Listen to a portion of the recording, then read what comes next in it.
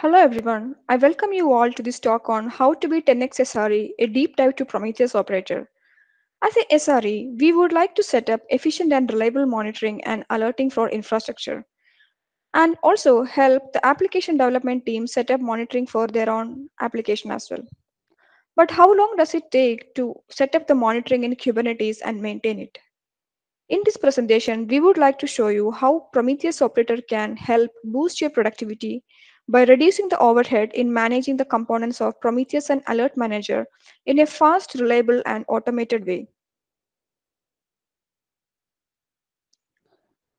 About us, my name is Jayapriya and I am working as a senior software engineer at Red Hat OpenShift monitoring team. And I have my teammate Haoyu with me, who is also a senior software engineer at OpenShift monitoring team. The key takeaways from this presentation are you will get to know how to configure monitoring in Kubernetes with the help of Prometheus Operator, details on how Prometheus Operator works and its available features, examples on TLS config, remote write, and alert manager configs. Towards the end, we will also discuss some of the limitation and also the future aspects of Prometheus Operator project. Let's see how Prometheus Operator helps SRE. Typical monitoring stack consists of Prometheus, Alert Manager, Thanos, and Grafana. Along with that, you also need to configure multiple config maps, secrets. Uh, also, you need to configure uh, persistent volumes, services for interconnection, and so on. You can set up Prometheus-based monitoring manually onto a Kubernetes cluster by writing your own Kubernetes manifest files and deploying them in the right order due to dependencies. Creating and maintaining a production grade setup can get complicated and error prone because you need to write correct Kubernetes deployment configuration along with the Prometheus configuration file to discover the right targets. And you will also need to configure the persistent volumes and plan the rollout updates and so on. This can be very overwhelming and very time consuming task. This is where Prometheus operator comes into picture.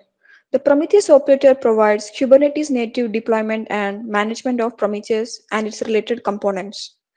The purpose of this project is to simplify and automate the configuration of Prometheus-based monitoring stack for the Kubernetes cluster. This is done with the help of custom resources and the custom controller. For example, using the service monitor custom resource in the operator, you can configure how group of Kubernetes services should be monitored. The operator controller will then communicate with the Kubernetes API server to monitor the service endpoints and automatically generate the required Prometheus scrape configs for the configured services. Besides managing Prometheus server, the operator can also manage Alert Manager cluster as well as the Thanos components on top of Kubernetes. There are two main projects that comes under Prometheus Operator GitHub organization. One is Prometheus operator itself, which automatically manages Prometheus and related monitoring components. And second is Kube Prometheus, which is used to set up the monitoring stack in Kubernetes out of the box. We have a detailed section on this later. Now let's see how the Prometheus operator works. We will talk about operator pattern, custom resource definition, and custom controllers. Operator pattern was introduced by CoreOS as a class of software that operates other software. The function of the operator pattern is to capture the intention of how a normal human operator would manage a service. A human operator needs to have a complete understanding of how an app or services should work, how to deploy it, and how to fix any problems that may occur. In short, we can term operators as software SREs. Operators are built on two key principles of Kubernetes custom resources, which is implemented by the way of custom resource definition and custom controllers. A custom resource is an extension of the Kubernetes API that provides a place where you can store and retrieve structured data, that is, the desired state of your application. Custom controllers are used to observe this custom resource, and with the help of information, it takes action to adjust the Kubernetes cluster to the desired state. Let's look at the Prometheus operator architecture. It's made of eight custom resources as seen in the figure and controllers which watches these resources and manages their deployment. We will see each of them in detail in the next few sections. Now, let's go through the CRDs available as part of the operator.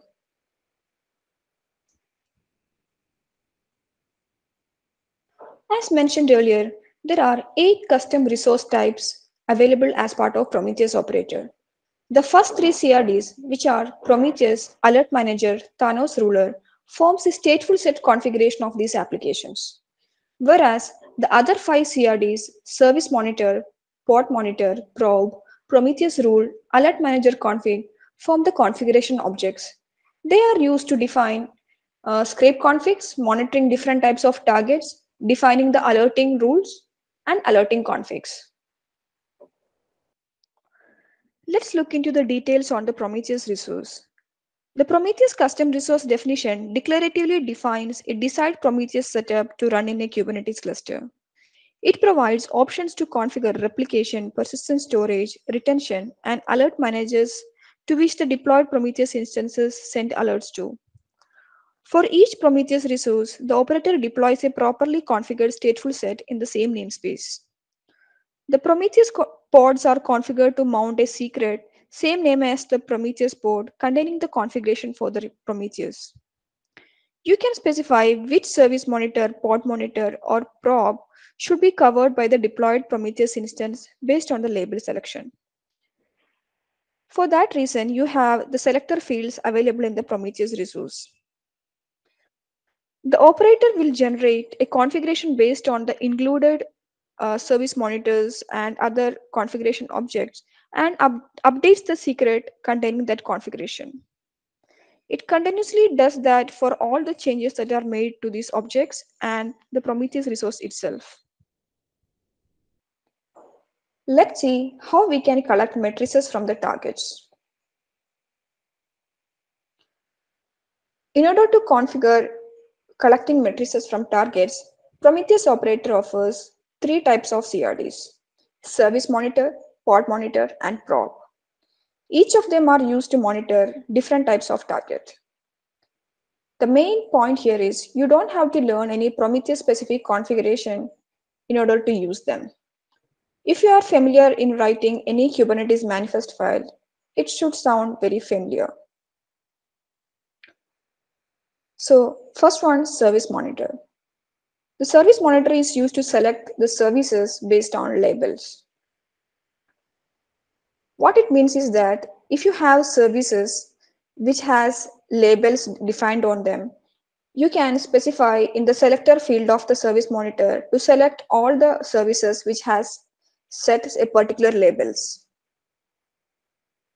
And pod monitor is used to select pods directly based on labels.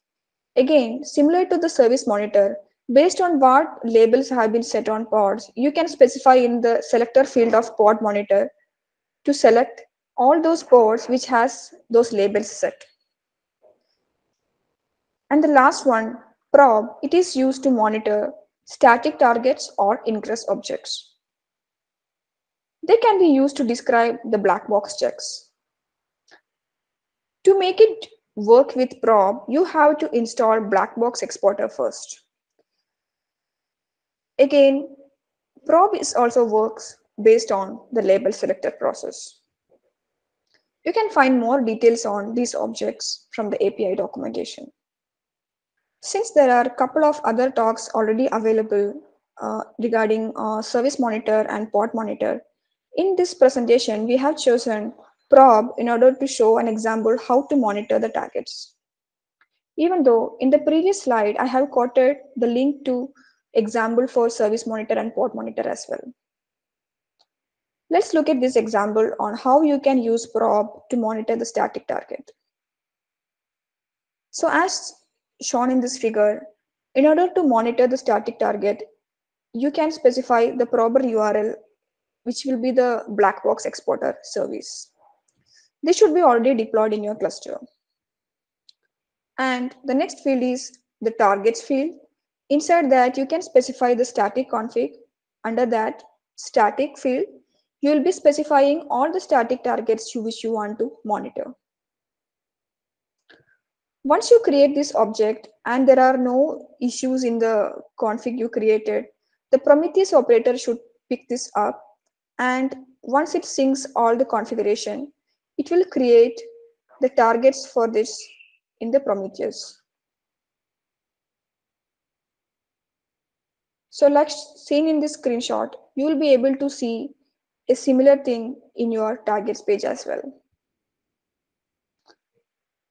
So you should be able to query the matrices from the black box exporter with the help of this.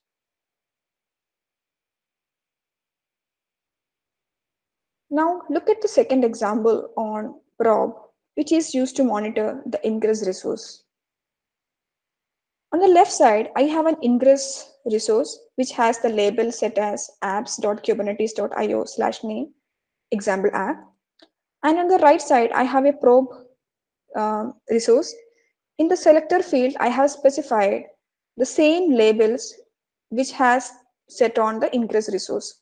So this is how the probe is able to select the particular ingress resource which, which it want to monitor. So once you have created the probe resource and Prometheus operator will sync this and it will create the configuration for scraping and you should be able to see that in the targets page. So you should be able to see the uh, black box exporter matrices for this particular target in the UI.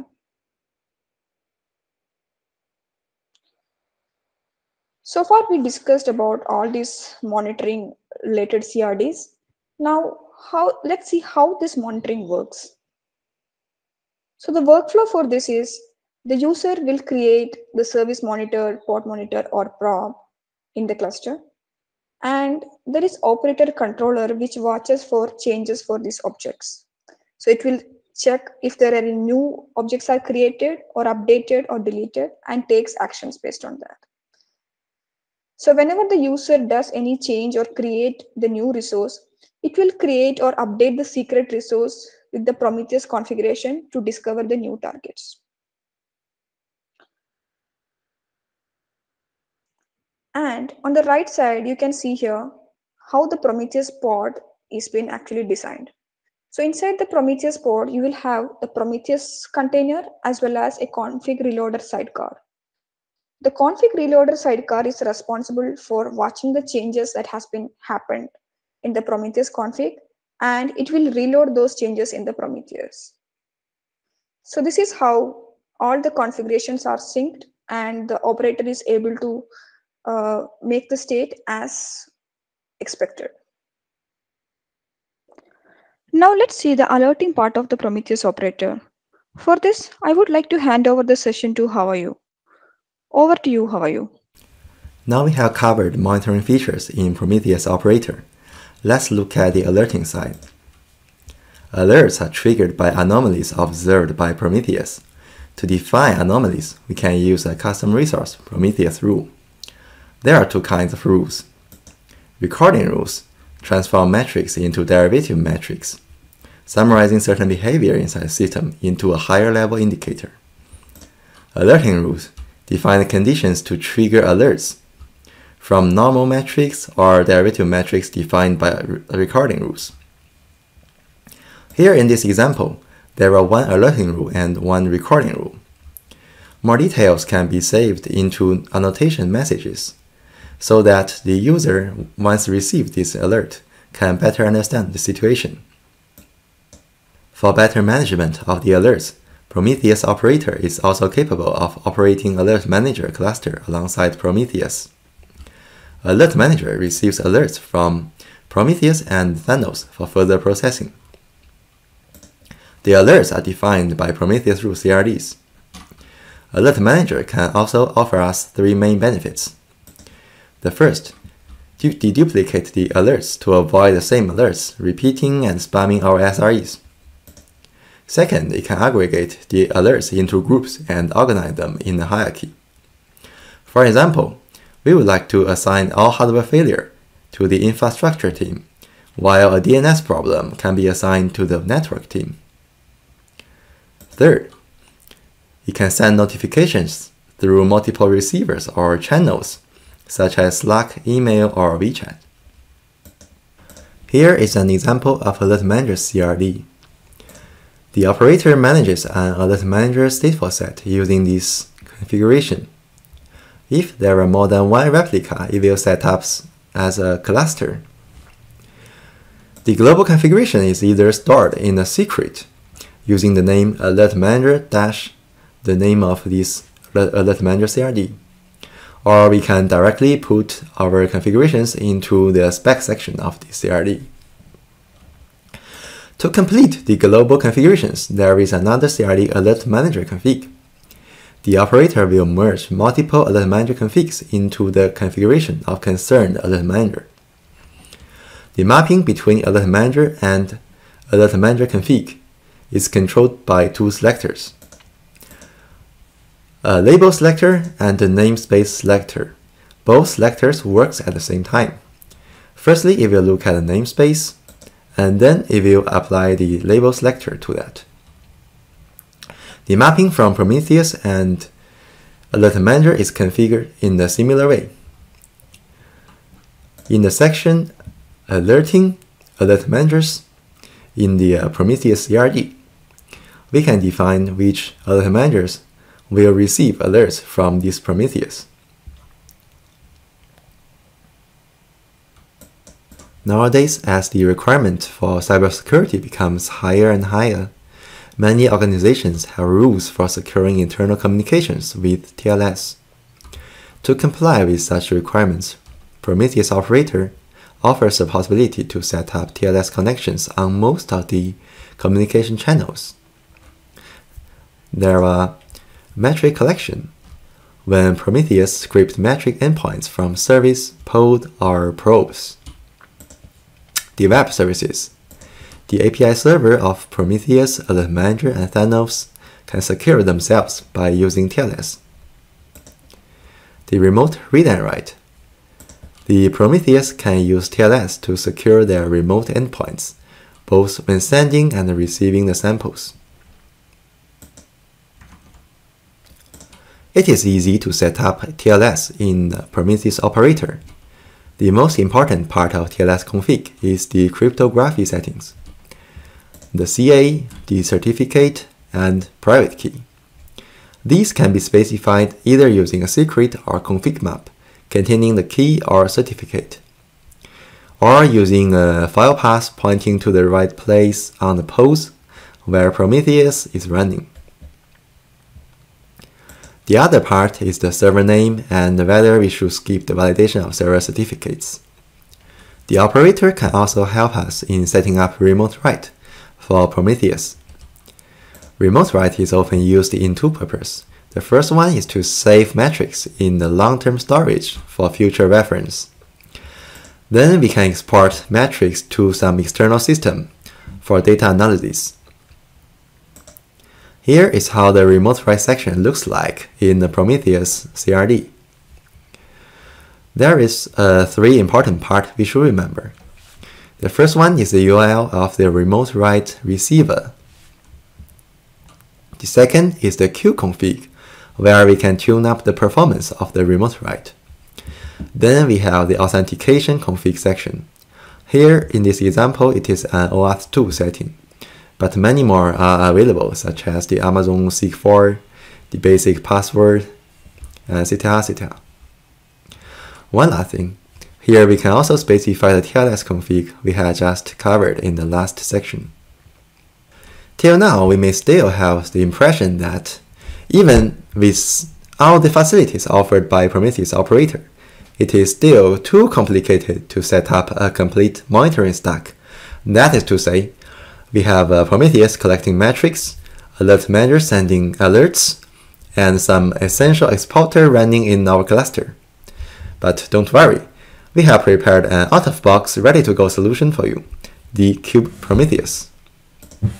Kube Prometheus is a collection of ready-to-use manifests to set up a monitoring stack in a Kubernetes cluster. It includes Prometheus operator that operates Prometheus and Alert Manager. Then we have two metric exporters, kube state metric for metrics about Kubernetes objects. Then we have Node Exporter for hardware and OS related metrics. Then we have Prometheus Adapter that provides a Kubernetes metrics API compatible with Prometheus standards. Then we have Grafana for data visualization. It works our attention that there are monitoring mixins makes the setup much more effortless. Each setup mixins is dedicated to monitor a certain component, such as etcd Loki. It consists of alerting rules, recording rules, and dashboard definition in Grafana. It is written in Jsonnet, built to YAML file using the JB Jsonnet builder. We just need to clone the repository of desired mixin and use the makefile to generate alerts, recording rules, and dashboard definitions. Then we import them to Prometheus and Grafana. There are also some add-ons we can use, such as Pyrra for showing the service level objectives. If the default setup does not meet our exact requirements, we can refer to the customized.jsonnet file in the examples directory to modify the configuration for certain components or to change the composition of our monitoring stack by adding and removing some components. Despite all this convenience brought by uh, Prometheus operator, there are still three notable limitations. The first, the operator's configuration is rather simplified. That is to say, certain details are hidden from users and non-configurable. Then the operator operates the components maybe in a way that differs from the user's habit of operating the same components. For example, the naming conventions, the location of certain configuration files is different. Second, the scaling of Prometheus is still a weak point. There is no automatic way to scale out Prometheus. Currently, the targets are naively distributed among the shards. So we should pay attention to that. Then, about the releases. The developer of Prometheus operator make the best effort to follow the latest Prometheus version, to include new features into the operator, but they always come with a delay. At least we can expect there will be a corresponding version of the operator to each version of Prometheus. There are many new features planned for Prometheus operator, here are the four improvements coming in near future. The first one, scrape config. It is a CRD to write generic scrape config that is not limited to the existing monitoring CRDs. Then the alert manager config will become available in V1 Beta 1. Then we will continue to improve the documentation, especially adding more tutorials. Then we will add support for Prometheus agent. Now we have seen how Prometheus operator makes life easier for SREs. We have covered how Prometheus operator works, starting from the generic operator patterns to the internal details of the Prometheus operator. Then we have seen how to configure monitoring stack with the help of Kube Prometheus, as well as how to secure the connections using the TLS, then how to set up the remote write in Prometheus, in the end, we paid attention to the limitations of Prometheus operator and also peek at some new features planned in the future. Thank you for your attention. If you are interested in contributing to the project, please check out our GitHub page. This is Jayapriya and Hao Yu. We hope you have a wonderful Prometheus day.